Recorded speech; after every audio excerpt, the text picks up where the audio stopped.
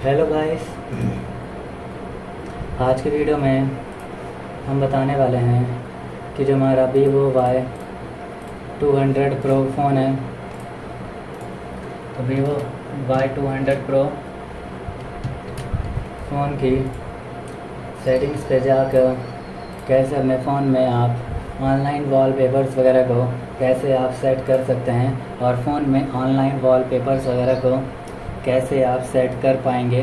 Vivo Y two hundred pro phone की settings पे जाकर तो बताने वाले हैं। तो वीडियो स्टार्ट करने से पहले हमारे चैनल को लाइक करें सब्सक्राइब करें, साथ में बेल आइकन दबाना ना भूलें। तो आप देखते हैं कि आइकन शो हो रहे हैं, जिसमें से आपको स्वाइप करना है। स्वाइप करते ही और आइकन्स ओपन हो जाएँगे।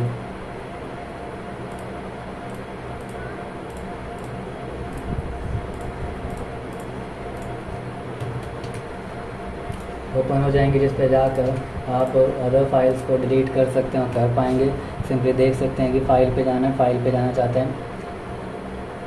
जाना चाहते हैं, इस पर जाकर आप फ़ाइल वगैरह को डिलीट कर सकते हैं और कर पाएँगे। जिस पे से जाकर आप देखते हैं कि ऑनलाइन वॉल पर लगाना चाहते हैं तो आपको सेटिंग्स पे जाना है। क्लिक करते ही फ़ोन की सेटिंग से ओपन हो जाएगी, जहाँ से lock screen and wallpaper settings पे जाना है। जहाँ से वॉलपेपर सेटिंग्स है। आपके फ़ोन में?